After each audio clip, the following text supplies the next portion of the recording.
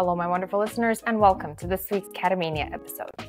In this episode, I had a chat with Gina Bontempo, who has a background in all things related to wellness, fitness, taking care of yourself, motherhood, and she also shared her story, which many of you know I love discussing this subject lately, uh, of being on birth control. I'm not going to give too much away, but I think, especially for you know my my female followers who are mothers or are thinking of becoming mothers, you will find this episode really inspiring and filled with lots of great information. Gina is a very outspoken woman about many issues, and a lot of the stuff that she talks about I really resonate with, and I know that you will too. I also realized after recording the episode, in case you thought that I have all my act together at all times, that um, I actually recorded it with the wrong microphone.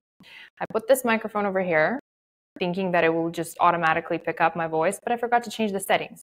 So I'm hoping that the sound is not too bad on my end. I know Gina's sound will be fine, but yeah, kind of a bit of a F up from my end. Anyways, hoping that it'll be okay.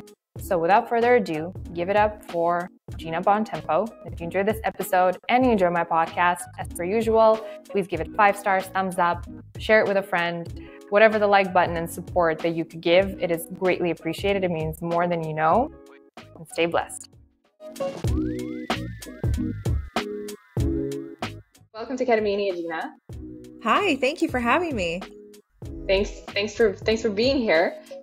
Where? So you mentioned a little bit, but just for our audience, um, you know, where are you from, um, and where are you based?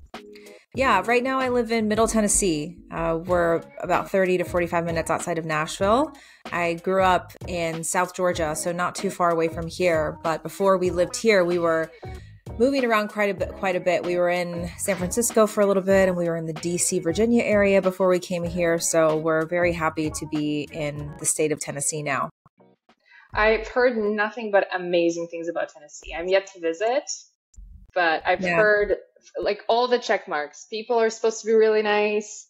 Um, like musical scene is supposed to be amazing. Just just really great things all around. It's great. It's very family oriented, which is great. I mean, there there are definitely some downsides. That it's it's harder to find healthy food options here, as you can imagine okay. in the South. Yeah, the sort of southeast area of the states is it's known for not having the healthiest food. So especially coming from somewhere like California, where you walk outside, you can go to any health food shop or any healthy restaurant. Coming back to the South, you're really reminded that it's just a little bit of a different culture here, and especially in terms of food. But it's changing. There's a lot more people moving here. A lot of people moving here from California too, which is good and bad. Um, but it's it's a really good place to raise young children because there's a really strong homeschooling community here. There's a lot of young parents that have wanted to escape the more crazy parts of the country. So overall, it's it's a really really great place to be. Right, and you are a new mother, is that correct? Like a new-ish kind of. Yes, I I would definitely still say new. My daughter just turned two. We're expecting a second um in May of next year. So Oh amazing. yeah, Congrats. so we're thank you. I still still consider myself a new mom with the toddler phase. You just time flies. It feels like the last 2 years has it's been the longest two years of my life, but also the shortest. But right. you, you're so you're still so new and young in motherhood when the kids are this young. So I still feel like a new mom, even though learning a lot every day.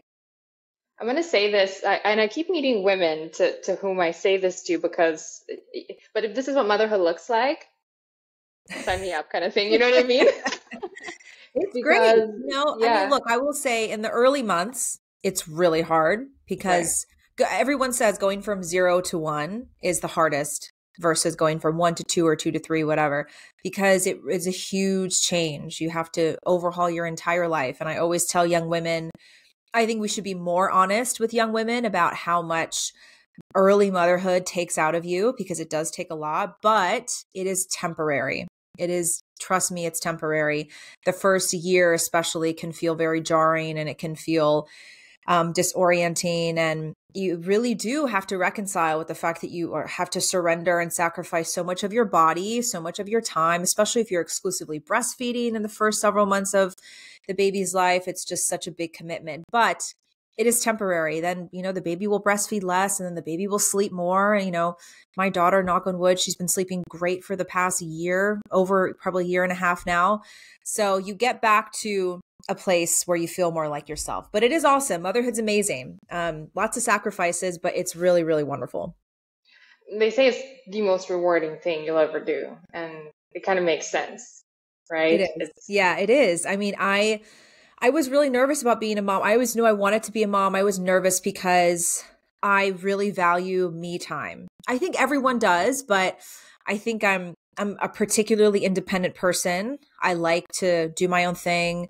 You know, I've always been into fitness. I was teaching fitness for a long time. I like to go work out. If I want to spend two hours at you know the gym and grocery shopping and doing whatever what I want to whatever I want to do out. I like having that independence. Um, so I was nervous because I was like, what if I don't really love being a mom? What if I I don't like this sacrifice I have to make? But it was for me. I felt really blessed that I felt very connected with my daughter as soon as she was born. Um, every mom has different experiences. I hear from a lot of moms that feel they almost feel guilty because it takes them a couple of weeks or even a couple of months to feel very very bonded to their child and that's okay everyone has a different a different experience in early motherhood but i felt very close to my daughter from the very beginning so the sacrifices that i had to make it it was it was totally worth it for me because you know i was i was there for every single day every single milestone i've seen every single development in my daughter's life so far so it's definitely worth it you, I love how outspoken you are about all these things. As actually one of the reasons I wanted to interview you because I was like, there's so many things that she just says exactly how she's thinking about them, and and it's it's awesome. But I love. Whoops, that was the sound that the chair was not supposed to make. I I love that you mentioned the whole thing about you know you loved your independence and you loved your me time because I think very often when and I've I've met women to whom when I say that I'm like I'm gonna be real with you like I'm just I'm a little bit nervous because I really like my me time. I really like my time with my husband. And I know that having a child obviously is going to change quite a few things. And I get very mixed reactions. Some women say, well, that's just selfish. And I think to myself, I know it sounds selfish. And I obviously understand that when I have a child, if I continue to just, you know, oh, all I want is me time. I don't want to spend any time with my child. Maybe that'll be a little bit selfish. But I love that you said that you were that way. Like you loved your independence and that's what made you nervous. I think a lot of uh, women who are listening to this who don't have children yet but want to have children will find some comfort in what you just said, you know? Yeah, yeah. I think it's okay to say that. I think that there are actually. I, I kind of get frustrated sometimes with a lot of the rhetoric online about motherhood and women should become mothers. I do think more women should become mothers, but I also think that in many circles online, we are not being honest enough. And it's right. okay to be nervous. It's okay to to just be a little bit concerned about whether am i going to like motherhood? How am i going to juggle everything? It's a real concern. And i think the more we can be honest with ourselves and the more that we can voice these concerns with the people that we love the people that we're close to i think that we have a greater chance of navigating it once the time comes.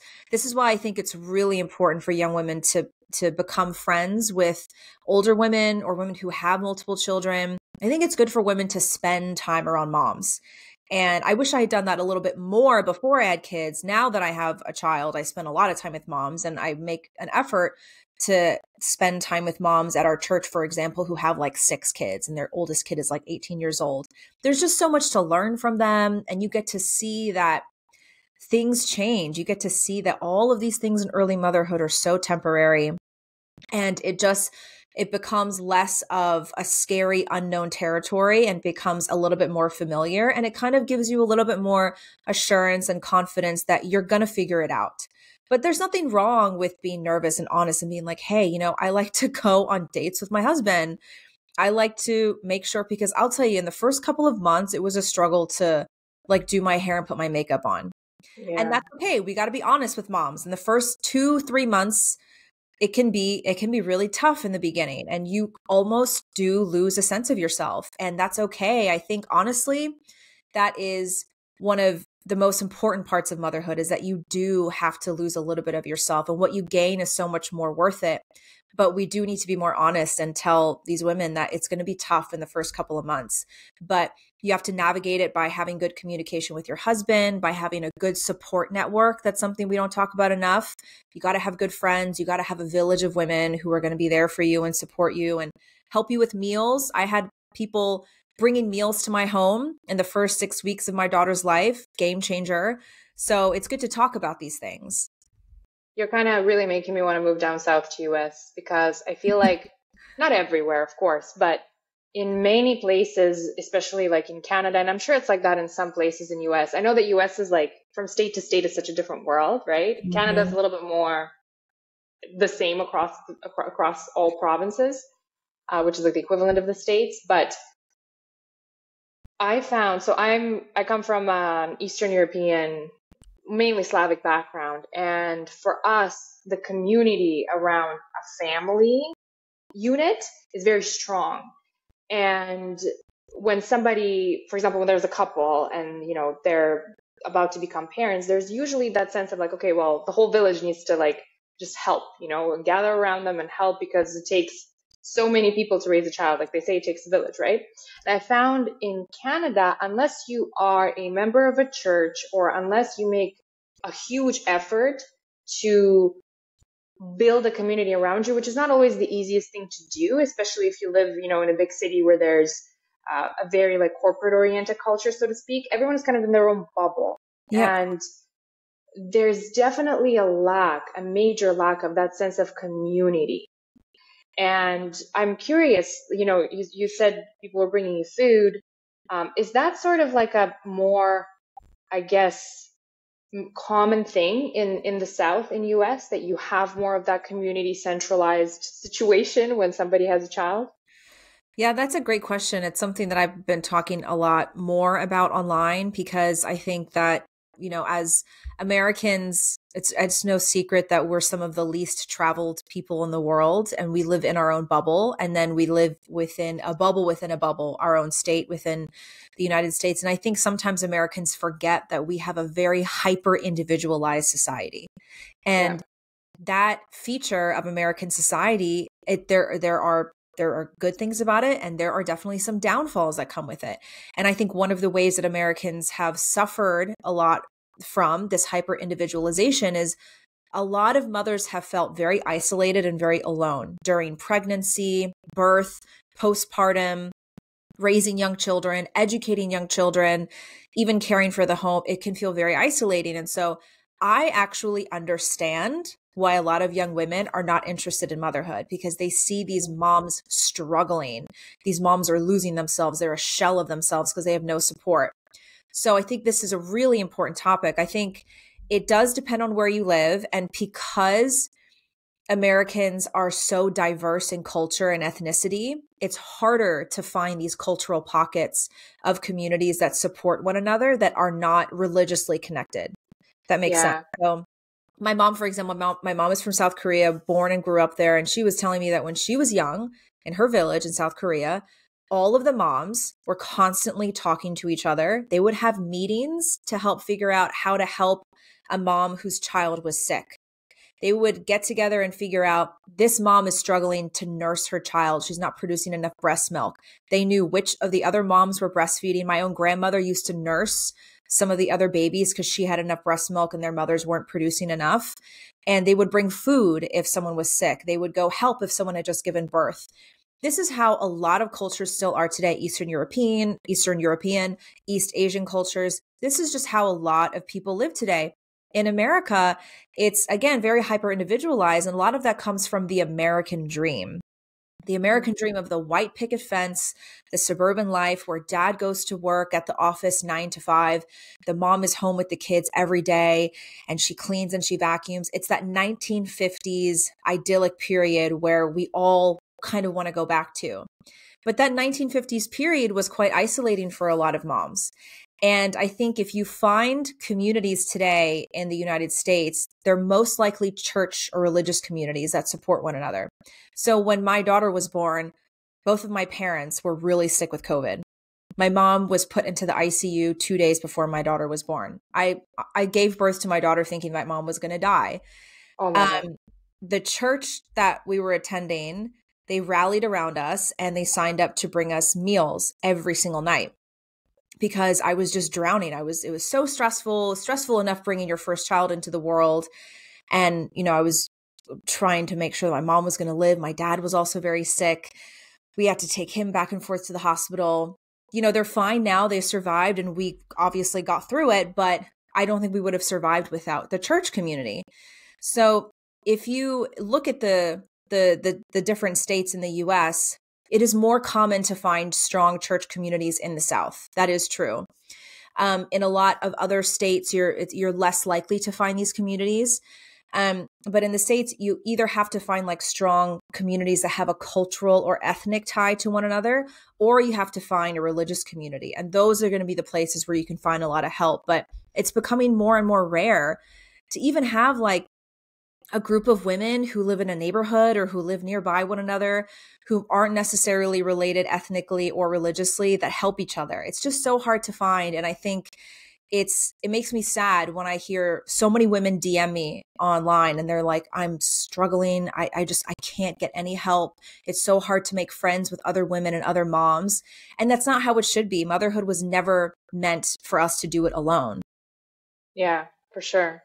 I, I, I think so too. I mean, it's I've seen benefits of having others around. I mean, I'm not a mother, but I've seen benefits of other mothers who had other mothers around them when they gave birth, or at least women who mm, I guess maybe have been mothers for a long time. And it's just it's it's a whole other ballgame. I feel like when you have that support for sure. And you know, I think when it comes to I, I was talking actually yesterday with somebody on my podcast about that uh, postpartum depression. Mm. I'm curious to know your thoughts about it because I know you mentioned, you know, the first couple of months are really tough. But I was talking about um, about this with my guest, and she said uh, that it amazed her how little women are able to even admit to themselves and others that they had it or that they're going through it. It's almost like something that they want to be quiet about and silent about because there's so much guilt attached to it. Mm. What are your thoughts on that? Postpartum depression is becoming more and more common, I think. And there are a lot of factors that I think have contributed to the rise of it. Uh, I think, first of all, um, I think that the way that a lot of women give birth is traumatic today. I think because the conventional medical system has kind of sullied the way that a lot of women give birth and they have we have a lot of these medical doctors not all I gave birth in a hospital. I had a wonderful experience, but I carefully chose my OB and it was it was a wonderful experience, but I completely understand why a lot of women are doing home births now because there are so many more stories of women who go to give birth and they're coerced into getting induced or getting a C-section or they feel bullied into vaccinating their children or whatever it might be and it's a traumatic experience and I think a lot of times women will internalize that and they don't know what to do with it they don't have an outlet so they suffer from postpartum depression so that's one factor. It's not this that not may not be the case for every single mom. But then I think that two other things that are really contributing to it is the lack of community, like we were talking about. Um, a lot of times these these moms they go home with this child and yeah you want to be alone you want some privacy with your new baby that's i mean I, I enjoyed the privacy but they have no help so all of a sudden life has to go back to normal in most cases husband has to go back to work so you're home all day. You have to cook, you have to clean, you have to resume life uh, just all of a sudden and it's it's scary because you have this baby and they don't send you home with a manual. You just have this baby and you're like, "Oh my gosh, what do I do? How, how, often do I feed them? How often do I change them? Am I allowed to give them this? Am I what am I supposed to do? And it's scary. And then it becomes all the stress. You don't have the support. But then I also think the third biggest factor is so many women are they have underlying health issues that they don't know about that makes it harder to fully recover from birth. Um, i think especially in western american society now the the idea of what it means to be healthy is not actually healthy. So a lot of women are just pumping themselves full of endocrine disruptors every single day whether it's through the food that they eat or the toxins in their makeup or in their clothes or even in their furniture or just you know the pollution that we're inhaling every single day. And so their their hormones and their endocrine dis- endocrine system is severely disrupted. And of course that's going to make it harder for your body to re- reach a level of equilibrium after pregnancy and birth. So a lot of women don't know this but the 6 weeks after birth is some of the most rapid hormonal changes that you experience throughout pregnancy birth and postpartum. Because the the estrogen levels everything just goes crazy because your your body is trying to reset in a short amount of time. If you think about pregnancy 9 months is kind of a long time and your body has that full 9 months to gradually change its hormones your belly gradually gets bigger but with postpartum the baby is out of you in a second and then your body is left scrambling trying to figure out how it's going to get back to its pre-pregnancy self so a lot of women that don't know that they're filling their bodies with endocrine disruptors, it makes it harder for them to to to reach that pre-pregnancy state again and that can result in a lot of mental health issues, anxiety, depression, and in some places in some cases it can send women to into a sort of psychosis. So I think there are a lot of factors that most of them are preventable, but we have to be able to address them and talk about them first. Um, unfortunately, like you said, I think there is a lot of guilt and shame around postpartum depression because it's already a very vulnerable time. And let's not forget the physical changes, of course, that happen in your body during pregnancy and birth. And you look down, you're like, I don't recognize this body. It can be honestly, can sometimes be kind of disgusting you and it's it's hard especially if you're a woman who's fit and healthy and you love your body. You look down and for a while it's unrecognizable. That's a scary thing. It's okay to say that um, but we're not talking about it enough so a lot of women make themselves feel like they're crazy when they're really not. So i think a lot of it can be prevented and i think a lot of it starts with just having some conversations and especially looking at the the conventional medical system and being able to point out what went wrong there and also identify what we're really doing that is resulting in in less than desirable health. Yeah. I think the subject of birth giving and the process which you can take to give birth is definitely a really interesting one. I've known women who chose to do home birth just because they were like i'm not going to the hospital. Mm-hmm. like there's no way. And i have heard many times from women that um, hospital birth very often contributes to postpartum depression. I have heard that many times actually. It's it's very interesting. But this all ties into another subject that I really wanted to discuss with you, kind of relates to the hormones, which is birth control. Mm. I've been discussing it more and more on my on my podcast, and I want to continue discussing it because I'm finding more and more people who have had very negative experiences with it, but they were never advised, and I had that as well. Um, what what was your experience with it and how did you come to the conclusions that you came? I love this topic. I talk about birth control a lot. I call myself a birth control pill disrespecter. Um, I think it's one of the biggest disservices given to women today. I was 19 years old when I first was put on hormonal birth control. Um, and I was put on it because I just had heavy periods. And, you know, I wasn't I wasn't even sexually active at the time. I just went with my girlfriends in college. It was our second year of college, I think. Um, second or third year. I went with my girlfriends. The four of us, we went, we were like, we're going to go get birth control. It was like the thing to do. Um, you know, we were, you know, watching like Sex in the City episodes and it just seemed so glamorous at the time. And there was very little uh, awareness of what hormonal birth control was. And so we went to the, to the clinic at our university and I just told the doctor about my period and it was heavy and um, painful and I found it hard to concentrate during my menstrual cycle and they just gave me hormonal birth control. And within six weeks, I think I just had two cycles. Uh, within six weeks, I started to feel the symptoms of a heart attack. I I didn't know what was going on. I just woke up one morning. I think it was a Wednesday morning. I woke up in my room and I sat up and I walked to my closet, which was probably eight feet away from my bed. And my heart felt like it was going to beat out of my chest. And I had shortness of breath. And I started freaking out. I'm like, I've never had this before. I called my mom. I said, Mom, what is, I don't know what I'm feeling. She said, just go to the student clinic. Just go to see the doctor. Um, you just, you know, it could be, I don't know, anxiety. She said, whatever it is, just go to the clinic. I went to the clinic and they ran an EKG on my heart, and the nurse came out and told me that I was fine. I just needed to go home and sleep. I was like, okay. In the back of my mind, I didn't think that sounded right, but I went back to my room and I got a phone call from a number I didn't recognize, but I answered it. I felt compelled to answer it. And it was a doctor from the clinic. And he said, I, he apologizes. I'm so sorry that I wasn't able to see you today because it was a really busy day, but I just looked at your chart and I think you might be having a pulmonary embolism. He said, I would take yourself to the emergency room right away. And I was terrified that I went, it was in the evening. I went to the ER. I waited in the room for like five hours. They ran all these tests, took a CT scan, and it turned out I had abnormally large blood clots lodged in my lungs. And they said that if I had just waited several more hours, the blood clots would have likely traveled to my brain or my heart and caused a deadly stroke or heart attack.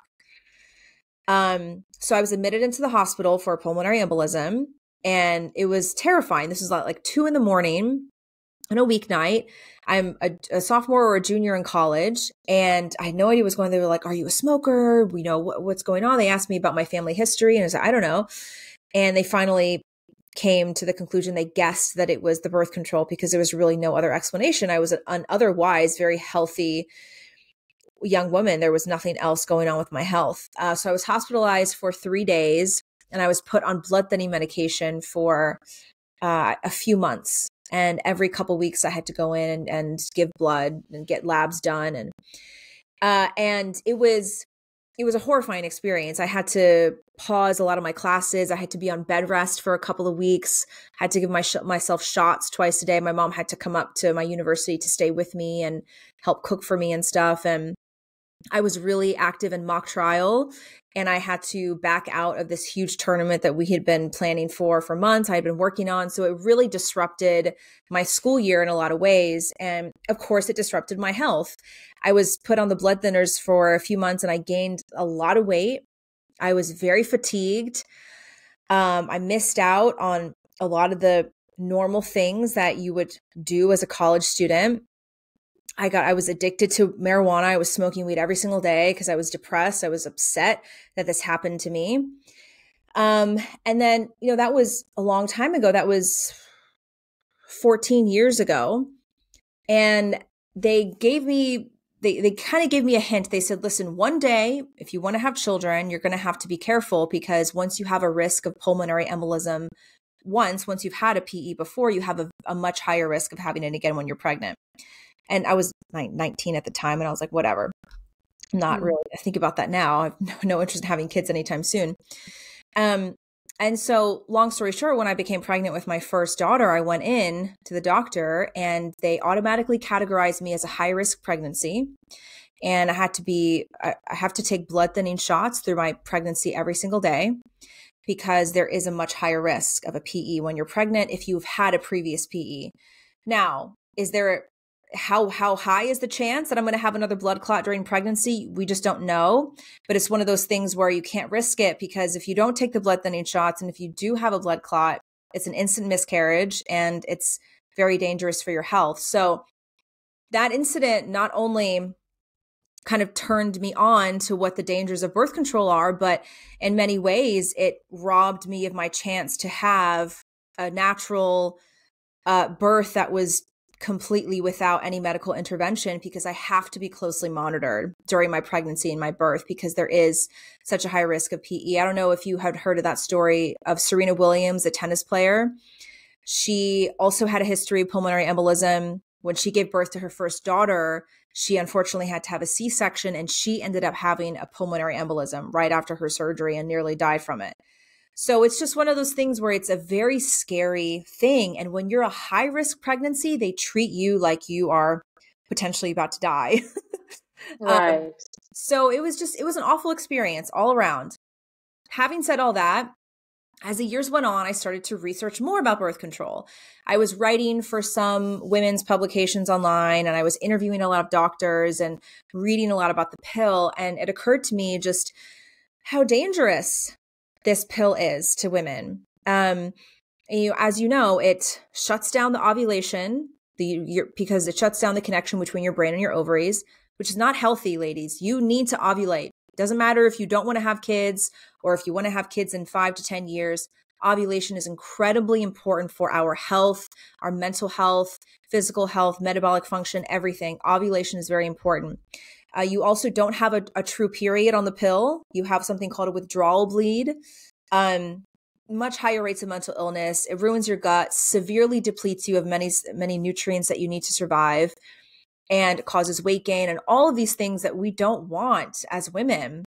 And it just drives me crazy that this drug is touted as an empowering thing given to women when in actuality I think it has led to the destruction of millions of women's lives.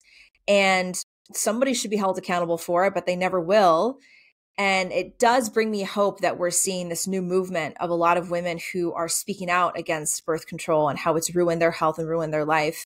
Because women have been lied to. We've been told that there is no other way to successfully prevent pregnancy or to successfully manage our menstrual cycle. That's a lie. There are much healthier, more natural, and just as effective ways to do both of those that don't involve a group one carcinogen that is going to override your natural hormone cycle. So I use a lot of my time online now to help educate women just how horrible the pill is for them. Yeah, and I think there's a difference, and I, I I've seen you speak about this. You know, it does have some benefit when it comes to medical conditions. Like I know, you know, endometriosis. I'm not a medical professional, so I'm not going to, you know, claim that I know exactly what it does or whatever. But I know that I have some friends who have had endometriosis and they take birth control. But it's kind of scary to me how, you know, I moved to Canada and I was two months away from turning 17. And I've shared the story before on my podcast, but I just went to the doctor because I, I've never in my life had acne. I was one of those lucky teenagers who has never had any acne. I had like porcelain skin. And then I moved to Canada and, you know, I moved from Eastern Europe where the weather was, I don't know, probably more similar to something like New York. So we had like all four seasons, but it wasn't like Siberia type of cold. And then I moved to pretty much the equivalent of Siberia type of cold, which is Canada, mm-hmm. you know, the province of Alberta. And it's a huge change, right? Like I just moved across the globe. There's lots of stress. Who knows what happened? And I go to the doctor in panic because all of a sudden I started getting acne. He says, Oh, don't worry about it. I'm going to prescribe birth control. So he prescribes the birth control. Me not knowing, you know, at almost 17 years old what it is, not looking into it. I'm like, birth control, great, you know, sure. I ended up taking it for seven years and I was psychotic by the end of by the end of it. Psychotic. I'm talking like depressed. I was just my reaction to things was mm. so weird and I was feeling all sorts of health issues like I was bloated all the time. I, everything that you could list. And the only risk I was advised of was blood clot. And then, you know, I was talking to my other friends who have had similar experiences with birth control. They were like, yeah, the only health risk we were advised when it was prescribed to us was blood clots, which is a you know high enough risk, of course, but it seems like all these other mental issues or mental health issues that come with it are just neglected. Nobody tells you about them. And I remember going to my doctor and telling him, "Hey, I think I think my birth control is messing me up. I don't I don't feel myself." He said, "Oh, let's just prescribe a lower dose." You know, so it's it's I think at this point it's a disservice to women. Mm-hmm. And you know, jokes on us because we feel all empowered when we take it, but really it kind of messes us up, you know? It messes us up. It makes I was in my like most masculine era when I was taking my birth control. Yes. I was feeling like yes. I don't want to have kids. Like I just I'm gonna work in the corporate for the rest of my life. I'm gonna climb the corporate ladder.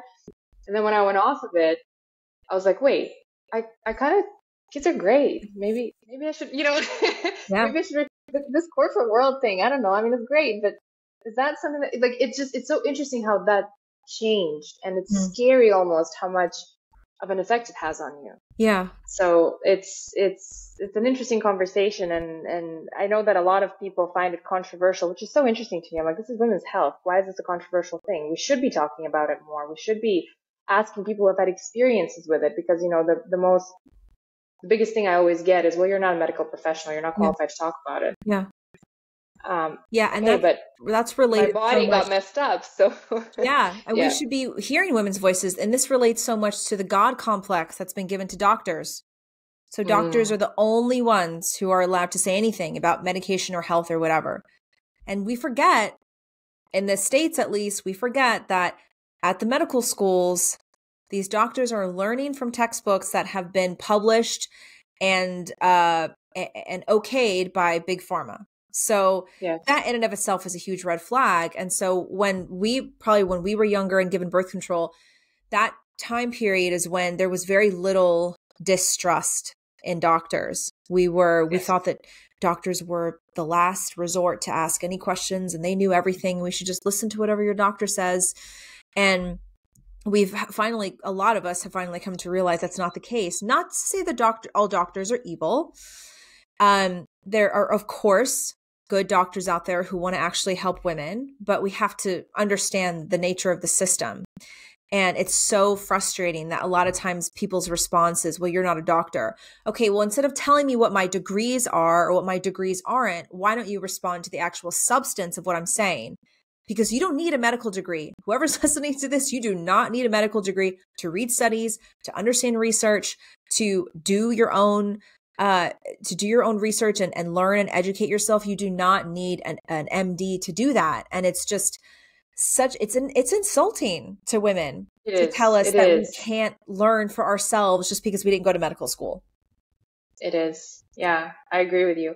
Did you hear? Um, and I don't. I'm not going to be able to pull up a study, but I've seen it on numerous occasions in articles that women have like a higher degree um, of attracting the wrong partner when they are on birth control. Yes. Isn't that insane? Crazy. Oh my God. I know. And did you hear how women are more likely to be attracted to women when they're on the pill than they're attracted to women? Like the pill has a way of turning turning women bisexual. Uh, there's this you may have heard of her. She's a psychiatrist named Dr. Sarah Hill. And she's done a lot of research and she, she wrote a book. I think it's called Your Brain on the Pill or something like that, but you can look her up, Sarah Hill. And she has done a lot of writing about how the pill will not only change the way that you smell to to men it'll change yeah. the way that men's pheromones smell to you and it'll change who you're attracted to. You're much more likely to be attracted to women which is like so bizarre. Wow. That is so interesting. It's crazy yeah it's I think it's one of the most fascinating subjects to me, and I want to keep discussing it and obviously keep spreading the word, and especially, you know, with women who have had experiences with it. Um, I'm glad that you you're fine. I'm glad that you know obviously things are going well for you now. And how long were you on it? Uh, how long was that period of time between when you went went on it and then you had all the issues? It was I think just six weeks. It's very short. Oh wow. Very short amount of time. There was actually with the particular birth control I was using, there was a class action lawsuit because there were so many women that got blood clots from it. Yeah, so it was it was a very short amount of time. Um, so it didn't take long. And a lot of people say, oh, well, the birth control that they have now is a lot safer. I'm like, but is it? I think that the statistics they tell us, they tell us that statistically 0.01% of women will get blood clots on the pill. Or maybe it's 0.1, which is kind of a big difference, but it's, you know, it's much less than 1%, they say. And I think that's a lie. I do. I think that that, that statistic, call me a conspiracy theorist, I don't care that is a, a, a, fabricated statistic because I have talked to so many women who have had blood clot issues, pulmonary embolism, um, deep vein thrombosis, like all of these things that come from the pill. And you're telling us that only 0.1% of women who take the pill get it? Yeah, I don't think so. I think that's a lie. I think it's much more common that they want us to believe it is. Well, and I wouldn't be surprised if they specifically, yeah, exactly. They, they kind of cover it up, right? Because that's that'd be a lot more convenient, right? Yes. To cover it all up and not release the, which is why probably we're getting flack for speaking up about right. some of the stuff that we've experienced, right? But uh, what about Gina? I wanted to touch on the subject of, you know, you obviously do a lot of social media work these days, and you share. We've talked about how you're very outspoken about, you know, your experiences and all that kind of stuff. How did you get into that? Is that something that you've always kind of wanted to do, or how did you embark on that journey of social media, spreading the word about all the things? Yeah, I uh, years ago I originally just started online doing fitness content. Um, Is that your background? Yeah, that's me. Yeah, that's yep. sort of my background. In 2013, so a long time ago, I did my first yoga teacher training certification. Um, and I traveled the world teaching yoga. Um, I haven't done yoga in a really long time, but that was my first step into the world of fitness. And then got really into CrossFit and strength training. And I became a strength and fitness coach, strength and conditioning coach when I was in California. And that's what I did pretty much full time. Um, so I started on social media by sharing a lot of fitness content. Um, and at the time, I was not posting anything culturally or, you know, cultural or political. Uh, but about 2017 was the year when I started to rethink a lot of things. And that's the year that uh, I started, I decided to, to start posting a little bit more. That was also around the time in 2019, I started working for Candace Owens. I don't know if you've ever heard of her. Oh, yes, yes. Mm-hmm. Yeah, so I worked for her for a couple of years. I first started as her manager and helped her with her nonprofit organization. And of course, working with someone as outspoken as Candace, it it, it definitely uh, inspired me to be a little bit more outspoken online. Um, and then I left that job when I had my daughter because I wanted to be able to be home with her and spend time with her. But um, that's kind of the the progression. I started as fitness, but then I, I would say the transition was I started to talk about body positivity. That was sort of mm. my first entryway into becoming more outspoken online because in the fitness world, I was seeing a lot of these mixed messages. Because at the time, I was also writing for some women's publications, writing fitness and health content. And I saw a lot of editors would would would uh, censor a lot of the things that we were writing about health. They would censor the things that we would write about obesity. They would take out certain information. For example, I a colleague of mine was writing an article about PCOS, and she mm-hmm. wrote about how if you're obese, losing weight and becoming more metabolically healthy can help reduce the symptoms of PCOS. And our editorial director deleted that from the article because it was too offensive. Oh, um, oh wow! Oh wow! Yeah, so I saw a lot of that, and then I so I started to speak out against body positivity because it mm-hmm. was you know this was around the time where Tess Holliday, for example, was on the cover of Cosmopolitan, um, and we were just seeing a lot of morbidly obese women who were talking about health at every size. It doesn't matter what size you are. And it was really frustrating because I had a lot of overweight women who were coming to me online looking for help and guidance. And you know, watching the obesity rates significantly rise and what that does to women's hormones and women's fertility. So that's how I actually met Candace because I reached out uh, to to be a guest on her podcast, and I was on her show in 2019, and we met, and then I ended up working for her.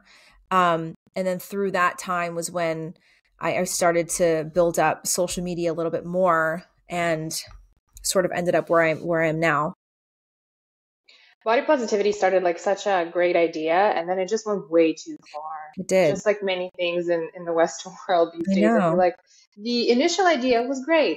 Why did we have to go so far? Why did we have to just spread lies, you know, at, at this point? I know. Um, I kind of started to poke some fun at the modern day 2023 Western feminism, like the feminism that we have in the Western world.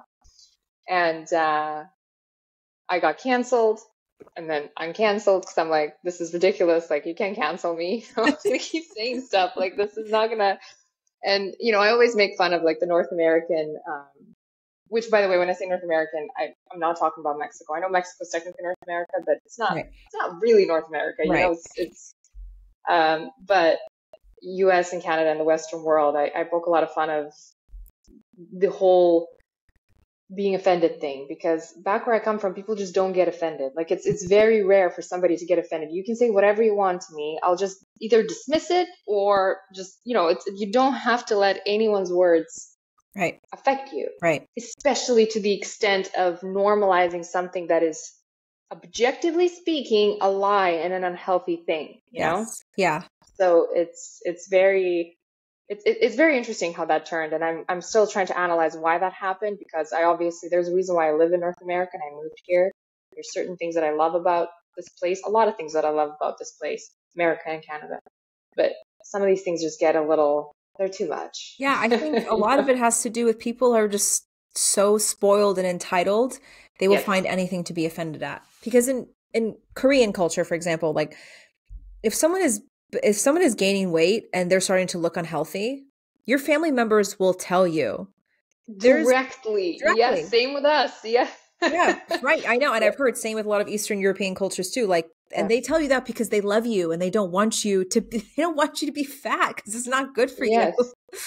Exactly. So, and what's wrong with that? Like, it, there's absolutely nothing wrong with that. I know. You know? I know. Yeah. yeah. I heard you or I've seen you um, talk a lot about the importance of, for lack of a better word, not letting yourself go as a mother.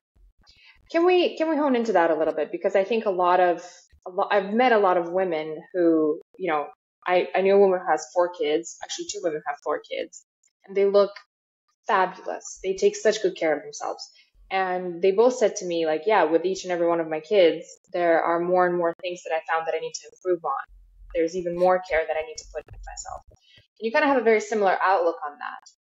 What advice would you give to somebody who's maybe listening to this and, you know, I hate using that word because it's just getting triggered uh, by the fact that you know these two women are, are are talking on podcast. One isn't even a mother. Another, you know, is has done all this great work and they're just lucky that they have all this time and stuff like that. What, what advice would you give to somebody if they made it this far into the episode and didn't get offended close it and then go on our social media accounts? Right. And- yeah. If they made it yeah. this far, you know, good on them because they're at least open to it.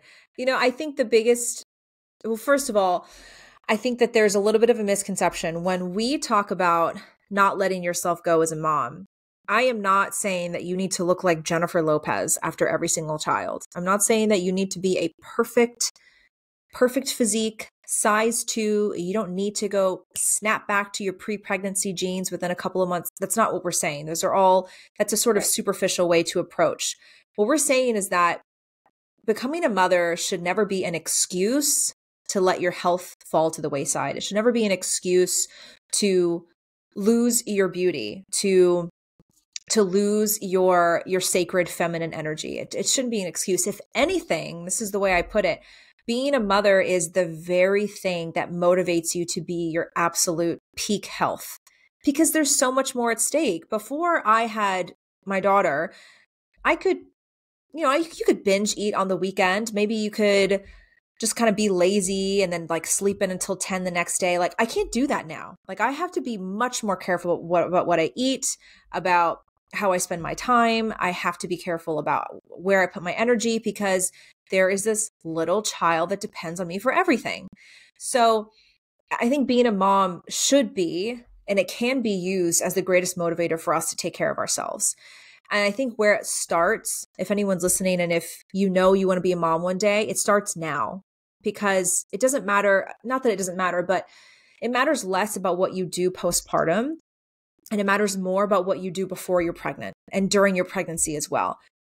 Because I've talked to, I had a, a friend of mine, she just had her second child, and she told me after she had her first, because our first kids are very close in age. And she told me that she sort of like let herself go in her first pregnancy. She was like, oh, I'll just lose the weight after. A lot of moms have that approach, right?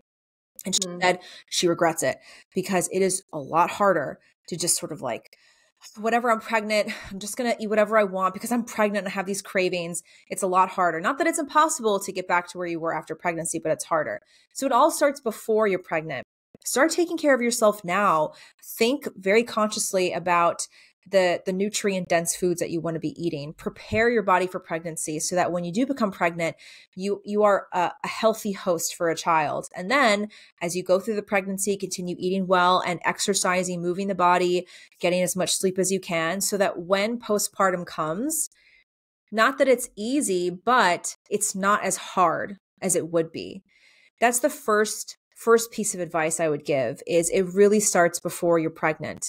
And this is why it, it, it kind of it makes me sad when I see a lot of women who are like they're single but they know they want to get married and have kids in the next five years and they're like whatever i'm just going to go and binge drink and eat whatever i want. I'm like don't do that. Prepare your body you know? Right. Treat yourself right. Not that you can't go out and have fun. Yeah go out and have fun but don't don't bombard your body every single weekend with all these toxins and alcohol and and overeating bad foods like it all starts before you're pregnant um And then after you're a mom, you have to find ways to prioritize taking care of yourself. And I just posted something on my Instagram yesterday about how the biggest mistake that I see moms make when it comes to fitness is they have this all or nothing approach. They think that a workout doesn't count unless they do something high intensity, unless they sweat for an hour. Oh, well, you know, I can't work out for an hour today, so I might as well not do it. No, if you have 15 minutes, go for a walk. That's it. You have to do the best with what you're given. And sometimes there are days where you don't have much you don't have much free time or you may not even have much energy but you have to find a way to move the body and so i think this sort of all or nothing approach is not helpful for moms we have to we have to plan ahead we have to be proactive and we have to find the little pockets of the day that we can take care of our health and move the body get outside with the kids as much as you can and of course eat a well balanced diet and the first thing i always tell moms is stop eating out so much. That's the first thing. Just stop eating out. Start cooking more so you know exactly what's going into your food. You're going to feel better. You're going to be a lot healthier. Your kids are going to sleep better and behave better if you're cooking them good, healthy food every day. And it will be a lot easier for you to have more energy and stay at a weight that you want to stay at. But I never, I remember when I, I visited Spain when I was 19 or 20. And we were in Barcelona. And I remember talking to somebody, and they said that the concept of MILF is a joke to them because why would you ever not be beautiful as a mom? Like they were telling me that in mm. Spain, it's like culturally, they don't have this thing where like women get fat and unattractive after they have kids. They're like, why would that even be a thing? It's the same in Eastern Europe. I'm sure you know Eastern European women, like Russian women, they have a reputation of like they're always looking glammed up, right? Always. It's it's always that that idea that like okay, you have the child, of course, but but you have to take care of yourself. You have to look good yep. for everyone, yourself and everyone around you, kind of thing, right? Yes. So yeah, it's yeah. good for everyone. It's good for your children. It's good for your husband, obviously. Um, again, yeah. no one's saying that you have to be glammed up all the time you know, just a little bit of makeup, yeah. do your hair, you know, put something nice on, and you don't have to be a size two. You just have to be healthy. And that's really all it is. And I think that so many moms feel like it's impossible, but it's really not. It's it's really not that hard once you get the habits in place and once you make a decision to take care of yourself. Um, I think it's really important for everyone involved, especially the kids. They need a healthy mom. Right. Well, that's the first example, right? Like when you're when you're growing up, and you look at your mom, that's like you copy everything your mom does. So if anything, I agree with you. I, I think it'll set a really healthy habit and pattern that the child will adopt from from the mother. Yeah. You mentioned, you know, this idea of letting yourself go, and that's something that also the amount of times I have said, like I always post like on my social media, like go work out, you know, mo- motivating thing for especially for women, go work out, go to the gym, put effort into yourself, wear makeup, look good for yourself, for your husband, whoever, just, just look good. And most of the time the reaction is great because my followers are, you know, the vibe with me. But there are times when I'll get like, oh my God, you're just promoting unhealthy beauty standards. And I'm like, no, no. Going to the gym, eating well, putting effort in yourself is promoting unhealthy beauty standards. What the hell happened to y'all? like, they act like you're some kind of Kardashian that's like getting butt implants and like, oh my gosh, no. Like it's this crazy. is not unhealthy beauty standards. No. I've had work done, like I've had some plastic surgeries and stuff like that, but I don't promote them. I don't promote them. I'm right. honest about them if people ask me. Right. I don't go online and I say, hey, in order for you to be beautiful, you need to go do this and this step of stuff. No, no, no, not at all. But going to the gym, eating well, putting a little bit of effort into, you know, looking well or put together is objectively speaking a healthy beauty standard. Yes. And you know, it's it's it's so funny to me how they're trying to change like the beauty formula. You know, there's a beauty, there's a formula to beauty. There's a formula to, to looking good. We're attracted to beautiful looking things. Of yes. course, we all have different tastes, but there's nothing wrong with it. Beauty, how- beauty is good for the world, and this is something yeah. that Western society has done very well. They've they've killed beauty. They've killed beauty and they've killed truth. It's like you know, you eh, eh, we've heard that beauty is inseparable from what is true and what is good. And so we mm. need more beauty in the world. And I think what moms and women get caught up in is they compare their beauty today to their beauty when they were 20 without kids. There's no need to mm. compare the two. You it's not about again, not about fitting into the jeans you wore when you were 20 or 25. It's not about looking exactly the same, having the same skin. It's not about that. It's about being beautiful today. And I think that every woman has a sacred duty to bring beauty into the world. And again, I'm not talking about superficial beauty, but beauty that comes from within. And part of that is taking pride in the way that you look. And this is such basic stuff. Even in America, like a few decades ago, if you look at like the 50s and 60s, the photos, like women were always beautiful. They dressed yeah. nicely. They wore dresses. They had hats. They always went out with a little makeup on. And it's just how, it's just the way that things were. And today you're called like some sort of bigot or sexist if you encourage that now. It's just, it's really, it's upside down, is what it is. Yeah, for sure. Uh, my light went out. It, it's out of battery, so I'm not as well illuminated anymore. but I took a picture. I was in Toronto um, two weeks ago or a week and a half ago, and there was a picture I saw from 19, I think it was like 1935 or something, and there was a picture of the harbor, and there was a, like so many men and women just walking, and all of them were dressed so yeah. well, and they all looked so fit. I'm sure not all of them, you know, every day lifted weights in, in the gym, but it was just the norm to mm-hmm. probably eat a little bit differently, move around a little bit mm-hmm. more, and dress well. Yeah. Right. Yeah. So, it's pretty simple. It's it's pretty simple. I agree with you. Well, and you also kind of um, a, a, you you appear to be a living um, evidence of it being possible as a mother. Because I think you're right. I've heard a lot of women use it as an excuse, motherhood, to maybe stop taking care of themselves or not prioritize it enough, right? So I think the more we have women like you spread the word about it and lead by example, the, the better, the better and the easier it'll be for women who are maybe going down the path of being scared of it or, or, you know, making those excuses. Yeah. So thank you so much, Gina, for your time, and thank, thank you, you, for for coming on my podcast. I will link all of the socials and links in the captions so that our audience can find and maybe we'll connect in the future in person. Yes, please hoping. come visit. Come to Tennessee when you come visit. We'll definitely get together and it'll be nice to meet you in person. Absolutely. Likewise. Yeah. Thank you so much for tuning into this episode. I will see you soon.